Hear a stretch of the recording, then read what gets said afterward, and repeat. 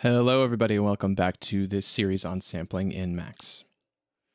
So today we're going to move into Gen. We're basically going to take this principles from the patches that we made in MSP for sampling and just move kind of that same theory over into the Gen environment. If you're happy working in MSP and you're exploring that and having lots of fun with it, I would say stick with that. But if you want to get into Gen and you're excited by Gen, it is so fun, then come along for this journey. So what we'll do today is start with a, just a really quick recap of the patch that we built in the past, just to prime your brain a little bit, and then we'll get into kind of recreating it with some changes in Gen. So here's the patch from the sample switching video. If you want a more detailed walkthrough of this, watch the video, it's up above. But basically we have a bunch of samples that live inside of a poly buffer, which is over here. And we can switch between them. And then we have the object wave, which is this orange one here, which is responsible for doing the sample playback. And we basically send a message into that wave object that says, tells it which buffer we want it to read from. Any of these. And then we, using this ramp object and the rest of this patching, generate a ramp that goes between uh, between 0 and 1 or some values in between 0 and 1 to actually play back uh, that sample. And the way to think about the wave object is it treats the buffer as though the sound inside the buffer or the buffer itself is a strip of tape. And the signal that we send into the wave object moves basically the read head of the uh, of the tape player along the tape. And so the wave object is kind of like this read head and you just send a signal in that says where that should be. You're just moving it all, uh, along the along the tape.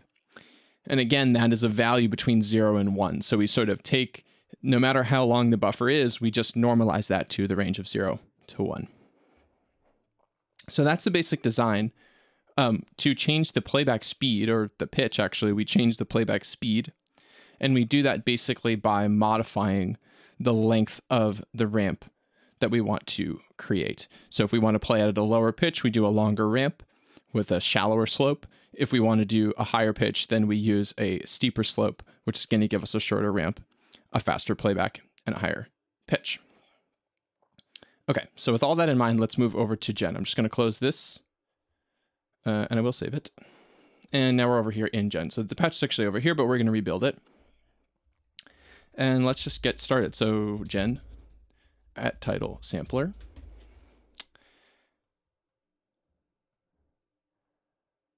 Okay. So the first inlet's going to take a click. The second inlet is going to take a MIDI note. And if we go in here, let's just start setting things up. So the first thing that we'll do is create a buffer that's going to hold our sample. And we need to give that a name, and we'll call it sound. And the way that buffers work in Gen is basically if you want to be able to access a sound, if you want to be able to access a buffer, and by the way, you can use buffers actually for lots of things. In Gen, it can be very useful as just sort of a container for a bunch of numbers. In this particular case, though, we are using it to hold uh, audio. So what we'll do is we'll create that buffer, but there's actually nothing in this, and it actually doesn't even have a length um, because we didn't give it any arguments to tell it how many channels and how many samples long this buffer is. So it's it's just like zero amount of samples. It's just a buffer with nothing inside of it and no capacity. But what we can do is uh, kind of refer to this buffer uh, on the parent patch level. So the easiest way to do that is just to create a buffer of the same name. So if I create a buffer called sound and I put the uh, Cherokee.aif sample in there, if I double click this, we can see that sound. If I close that and come back into Gen and then double click sound inside of Gen, I can see the same sample. So this is a reference to this same buffer. The other thing that we can do, which is quite cool, is refer this buffer that's inside of Gen to some other buffer that we have living in, in Max in the parent patch. So if I get rid of this buffer sound and I create one called, you know, my sound, and uh, let's say I change the sample. So uh, Anton.aif is another one that I know about that's built into Max. And you can see the waveform for that looks different. and then I send a message, um, sound my sound. So basically, sound is the name of the buffer inside of gen. So we're going to say, what we're saying is refer that buffer sound to this other one called my sound. And now if I go back into gen and I double click, you can see we can see that. So we can achieve that same thing uh, to allow, or we can use that same technique basically to allow Gen to access the samples that are living inside of our poly buffer. And in fact, I already have that set up here. So the, in this selected buffer subpatch, where we get a sample name in from the umenu here, I can just prepend that message with the word sound and send that into Gen. And now I can change the sound and let's check and see. Cool. So that's totally working. Great. So now that we have our buffer, uh, let's think about how we're actually going to play it back. So there is a wave operator inside of gen, uh, which again takes that value between zero and one.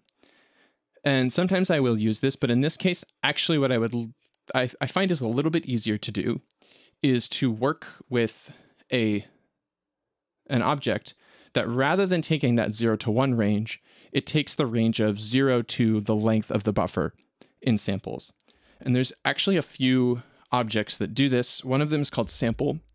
I have a lot of trouble getting this one to work sometimes. I get weird aliasing or it doesn't play, and I don't, to be honest with you, know why. Sometimes it works, sometimes it doesn't. But I found more reliably uh, that the peek uh, operator works quite well. So peek basically is a sample reader or a buffer reader, and we'll give it its first argument is going to be the name of the buffer that we want to look up. And what this operator is expecting to receive to its first inlet is a sample index. So this buffer that has some sound in it is many thousands of samples long. And so if I send a value that's between zero and the length of that buffer in samples, it will give me the value at that particular position. The wave object in both gen and max, um, it has a, a, feature, which is that it performs a linear interpolation. So when I actually send a ramp into this peek object, or I send a ramp into the wave object to play back a sample, the sample that's sitting inside the buffer is this discrete thing, right? We have, by which I mean there are a certain number of slots, certain number of samples, and there's a specific value in each of those slots. However, the ramp that I generate will not always need, want a value that is exactly uh, an integer or exactly a rounded whole number. We might get a value like, you know, sample number 455.66 or something. So we need to be able to handle those situations by basically pretending that we have a smooth uh, signal, we have a smooth waveform um, sitting inside of the buffer. And there's many ways to kind of uh, achieve this smoothing, but the simplest is linear interpolation, where if I send in a value of, let's say 0.5, what it's going to do is look inside the buffer and say, I know what the value is at the zeroth slot, so the, the very first sample. I know what the value is at the first slot, and I will draw a straight line between those two, and I will take the midway point if the value is 0.5. If it's 0.3, I will take, uh, you know, 0.3 of the way from the zeroth sample to the first sample. So that's linear interpolation. Peek won't do that by default. We need to tell it to do that. Wave will, sample actually will in gen, but again, I can't always get that to work. So what I always just do and have been doing is peek refer to the, to the buffer, and then use interp linear. If I don't do this and I play back the sample, what you're going to get is some harsh uh, aliasing noise. Okay, so the peek object is what we're going to use to play back the sound inside of this buffer. And like I said, it wants an index, so it wants some value between zero and uh, the length of the buffer. And just like in the MSP example, what we're going to do is create a ramp that goes into this peek object that sort of moves the, the read head along the sample. The only difference being that instead of using a value between 0 and 1, we'll use a value between 0 and the length of the buffer. So what that means is if we want to play back the sample at its um, at its natural speed, right, at a speed of one, then basically what we'll want to do is add for each uh, sample in computer time, right, in the time of you know of of our computer sample rate, we'll just want to add one sample each time and just advance forward one sample for every sample that we have in real time. So let's build that. So I'm going to say we want to add the value of one each time. And I'm going to use a clip object here. And what we're basically doing is building an accumulator. You may have seen other videos like the most recent one probably being that Mark Fell one where I made an accumulator in Gen that basically takes a number and just adds the input to a kind of running total. So that's what we're doing here. The difference between this one and ones that I've done in the past is that instead of using a wrap here, we're going to use a clip. And I'll show you why in a second.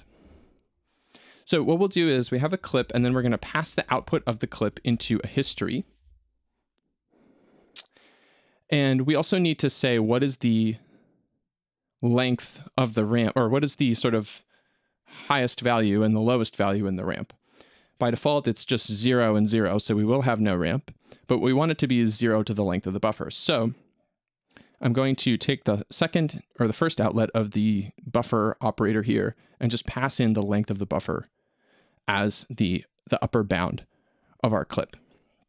Another way that we can do this that's kind of like nice is with this operator called dim that is just specifically looking at that buffer object and getting the length. So we can do that. Okay, so now let me just pass to the uh, second outlet what we have here. And you'll see that what we get is just one, right? Because we're just passing a one in and passing it out. And we're clipping to the range of zero to the length of the buffer, but it doesn't matter because one is within that range. So we get it. This history operator is kind of magical. What it's going to allow us to do is take the output of the clip and loop it back around, feed it back into the input by introducing a single sample delay. So every time this gen patch runs, it's going to basically take what the clip uh, object most recently output and pass it around into the input and add one to that. So on the first frame, we'll get one and in fact, you can see here, it already, the number's already big, and we'll, we'll explain that. But we'll get one, then we'll add one to one, so we'll get two, then we'll add one to two, so we'll get three, and so on and so forth. Okay, if I, um, if I restart this, like let's do like this, and you'll see, watch the number box over on the left. When I make this connection, you can see this number rises. So we have a ramp that goes from one to uh, the 1,002 or 124,439, which must be the length of this particular sample in samples. So we have now a ramp, and actually I can show you even more clearly that ramp by taking a scope here and going from 0 to 125,000. And if I like delete and recreate, you can see that ramp here.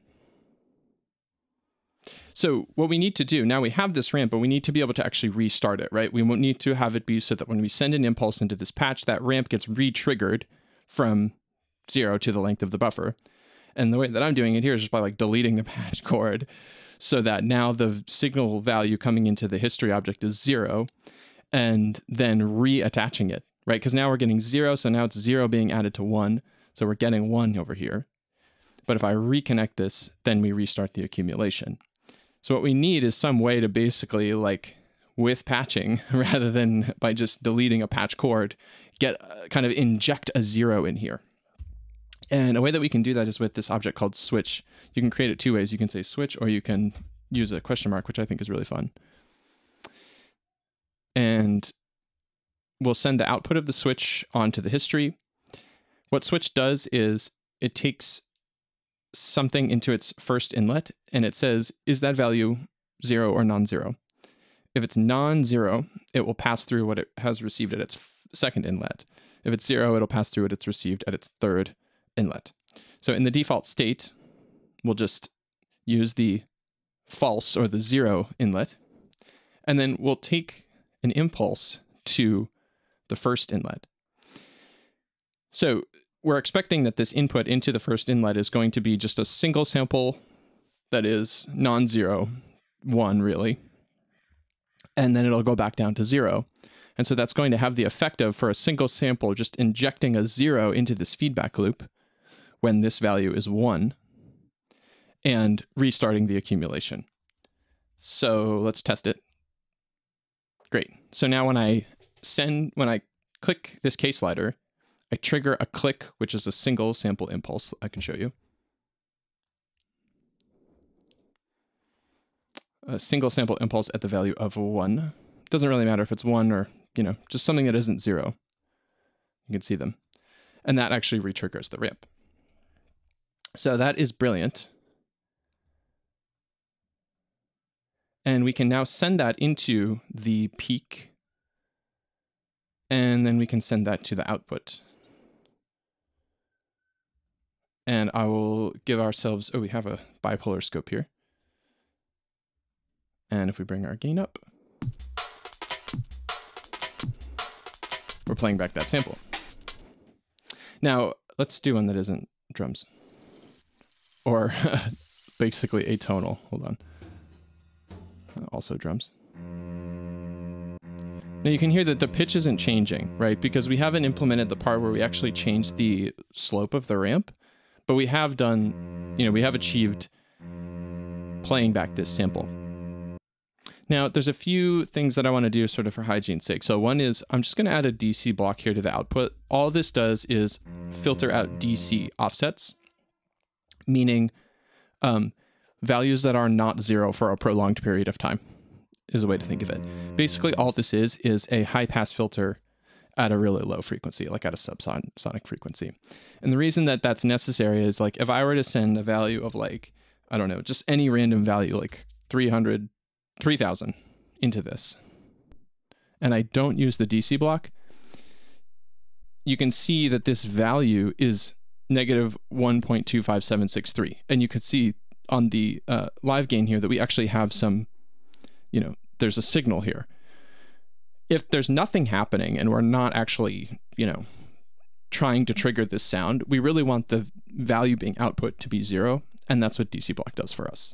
So it just gets rid of that, uh, what's called a DC offset. Another thing that's probably smart to do, although, you know, perhaps not strictly necessary, um, and we'll talk about why that keeps happening in a second. We'll fix that as well. But another thing that's nice to do is to make it so that at the first inlet, we kind of force things to be impulses or not, right? Because right now we could like send anything into this first inlet and it can create some unexpected results for us. So what I'm going to do basically is have uh, add a little bit of patching that really constrains the behavior of that first inlet to the case where we just get like some kind of impulse, meaning a value that is zero or a signal value that is zero that changes to something that is non-zero. And we'll consider that event where it goes from zero to non-zero to be kind of the trigger that restarts our ramp. So the way I'm gonna do this is first off, uh, use a Boolean, which basically just tests, I'm gonna turn this off for a second. Uh, it tests to see if the value of the incoming signal is zero or non-zero. If it's non-zero, we'll get a value of one. And then we'll use a change operator, which is all it does is tell us, uh, it reports basically the signal direction. Is the signal increasing, decreasing, or is it staying the same? If the signal is increasing, then we'll get a value of one. So that means that when we go from zero to one, or zero to anything, we'll get zero, then one from the bool. Then we'll get uh, zero and then one from the change object. And we then also need to just make sure we don't want to get anything from the change object when we go from one back down to zero, because change is reporting the signal direction, right? So if we have an impulse that goes from zero to one and back down to zero, change is going to give us zero, one, negative one.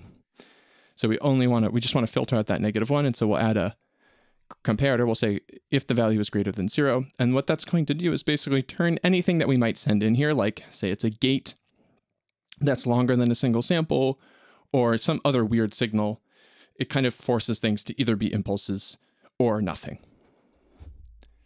And we'll just make sure that still works. And our input in this case is, you know, it is an impulse, so it, it's all fine, but it's just nice to have this. Okay. So let's now think about um, how do we change the pitch of the of the sample by changing the playback. And the way that we do that basically is by changing this number, right? Because what we're doing here is essentially um, advancing one sample within the buffer for every sample of time within the gen patch. So if we wanted to create a faster ramp, then we would want to accumulate a value that's greater than one. If we wanted to create a slower ramp, in other words, a lower pitch, we would want to create, we would want to accumulate a value that is uh, lower than one. So the way that we're going to do this is by basically converting our MIDI note value that we're getting here at the second inlet into some value that is between uh, that is kind of above or below one, right? If it's closer to zero, we're going to play the ramp more slowly and we'll play at a lower pitch. If it's higher than one, then we're going to be playing that ramp more quickly and uh, we'll uh, play a higher pitch. So we're going to assume in this particular example that, and again, I'm going to turn this off and again, we'll fix that in a little bit, but for now, um, we'll assume that the MIDI note value of 60 plays back the sample at its normal speed. So if I send in 60, I'm going to get zero. I'm then going to divide that by 12 so that we go from a, a kind of a, a semitone transposition relative to 60 to an octave transposition. And then I'm going to raise 2 to the power of that number. And if I pass that to the second outlet so that you can see it, if I send 60, then the value that I get is 1. If I send 72, then the value that I get is 2. If I send uh, 48, which is an octave down, then I get 0.5. So basically, we are uh, changing the slope of the ramp or the amount that we accumulate based on this value. And so now we can basically replace this constant with that. Let's test. Cool. That's working. Um, there's one wrinkle here, which is this patch assumes that the sample rate of the file that we have uh, loaded into the buffer is the same as the sample rate of our computer, right? Right now, I think I'm at 44.1. Um, but if I were at 48 or 96, then the pitch that I play back this sample would change because the speed of time, I guess you could think of it, right? The speed at which samples flow by inside the max patch changes as we change the computer's sample rate. And if you have samples that are, perhaps you have very high quality samples that have been recorded at, you know, 96K, but maybe you're working at 44 or 48, or the other way around. Maybe you're working at 96, but you have samples that were recorded at some lower sample rate. You need to make sure that the sample rate of the buffer is kind of adjusted, or rather, you need to make sure that the playback is adjusted for that difference between your computer's sample rate and the sample rate of the sound in the buffer. So Gen is unaware of this information. It does not know when we have a buffer what the sample rate of the buffer is, because sample rate is really an attribute of the sample itself. And the way I believe that it is is got is that when the sample is saved, um, whenever it was created, uh, that some metadata gets stored with the file. So whether it's a wave or an MP3 or whatever, there's some metadata that says, hey, the sample rate of this particular sample is 44,100 or whatever. So we can't get that information inside of Gen because Gen doesn't have access to that sample metadata. All it has is a buffer with a bunch of numbers in it. Um, Max, however, does have access to that information uh, through the info object. So what we're doing here, and I've actually already patched this, is we're just sending the name of the buffer into info, and then we're banging it, and its first outlet is producing for us the um the the uh bu- the sample rate of the sample that is in that buffer. Um, so what we'll do is just pass that into gen, uh, prepended by this message sample sr, and we'll create a corresponding. Oops, wrong place. Uh, we'll create a, a corresponding parameter called sample. Oops.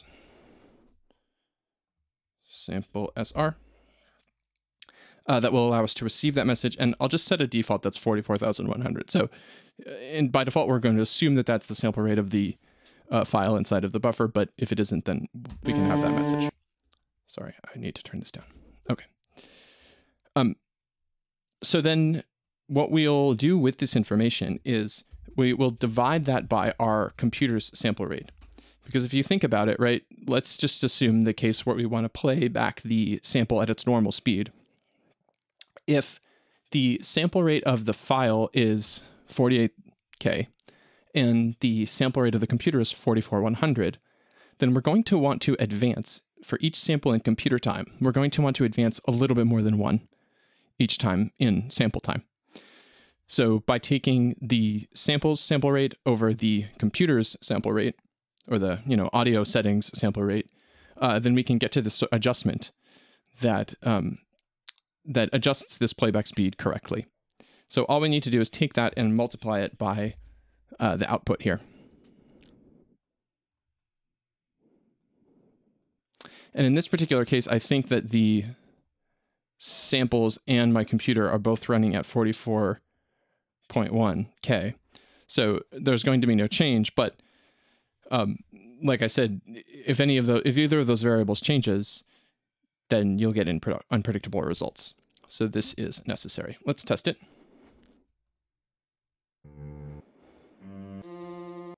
Okay, let's now fix this thing where every time I change the patch, it triggers the ramp. And the reason for that is when I change the patch and it kind of recompiles the patch, uh, it forgets the value stored inside of this history operator, right? Which is kind of our ramp value. And it resets that back to zero. And so the accumulation is allowed to resume because the clip is no longer at its maximum anymore. So basically, what we need to do is kind of suppress the triggering of the ramp when um, the uh, when the um, unless there's a, an impulse received at the first inlet. And a way that we can do that is by using a latch. So latch basically is like a sample and hold. The value that we send into the first inlet will be passed through to the outlet uh, when a sample or when a, a non-zero value is received at the right inlet, and it will hold the last value that it received. So whatever I have coming in here, when I send an impulse through, that value will start to come out. But until that happens, I'll just get zero. So when basically when the patch is loaded, when the gen patch is loaded, we're sending zero here, which I can show you right here. You can see. But then if I trigger the impulse, now we're getting uh, actually a value that is Oh, because I send MIDI note 59, right? We're getting a value that's lower than 1 because we want to play the pitch slightly low. Uh, this also has the useful side effect of making it so that if, while the sample is playing, in other words, uh, after an impulse, the MIDI note value changes, then the pitch won't change. Uh, because we're only going to basically take in a new pitch value when there's a new impulse. So perhaps if you want the behavior of like you can send lots of impulses in and the pitch is uh, decoupled from that, then you wouldn't want to do this. But if you're working with a kind of more traditional case where like I trigger a note and I can sort of think of that as being a note event that has a st- please start playing now component and has a this is the pitch that I would like for you to please start playing now as kind of one message, then this is really the way that you want to do it. Um, the pitch can only be set basically at the time at which the impulse is received at the first inlet. Um, we can then send to the outlet our ramp and we can feed this back around to that read head, uh, send and receive. Ah, but we need to we need to divide by the length of the buffer because this uh, slider over here that's representing our read head is expecting a value between 0 and 1. So we'll divide by uh, dim sound.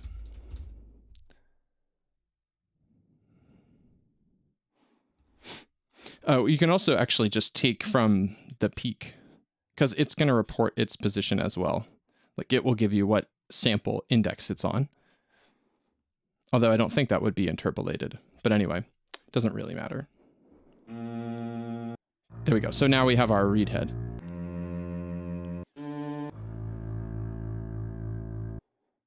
Cool. So I think that's it for today. What we will talk about next time, I actually have noted here already, is the ability to change the start and end point. So right now, if I uh, if I do if I do this kind of stuff, uh, it doesn't change anything because we're not sending that information into Gen to say, hey, I actually want, only want you to play this little region. So we'll add that.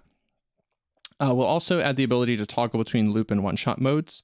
So right now, everything's one-shot, right? It just plays through the sample once, and then it's done, and we have to trigger it again in order to play it. But there's a way that we can set things up so that basically when that ramp completes, it gets re-triggered. Um, actually, we already did this. So those are the yeah those are the main two things we'll do next time, um, and then after that is when things start to get really fun. So there's definitely a video that I want to do that's talking about how to make this whole thing a polyphonic with some techniques from Go that are really cool. Uh, we'll definitely do a video where we talk about envelopes because in our other examples, we actually have a separate amplitude envelope that we're just not using here. So we'll do a little bit of a explainer on how you can make envelopes. And that's one area I think in which Gen is really fun. You can kind of do what you want and craft envelopes that work really well for the types of sounds that you're triggering.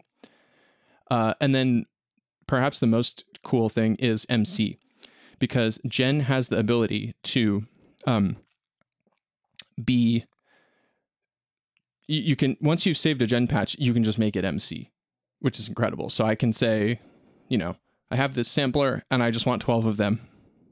Boom, MC. And then uh, you can do weird stuff. Like I have an example uh, that I posted on Instagram recently, which will totally recreate where like the um, the start point is getting randomized. And so as we play back some file, we get this kind of granular cloud type of effect uh, where we're playing back this sample many times, but we're playing back different regions of it. Um, and, it, and, it, sounds cool. Uh, yeah, so stay tuned for those. I'll be back soon with those. Uh, in the meantime, have fun with this. Let me know if you have any questions. If you're liking these videos, please like and subscribe, and I'll see you next time. Thanks.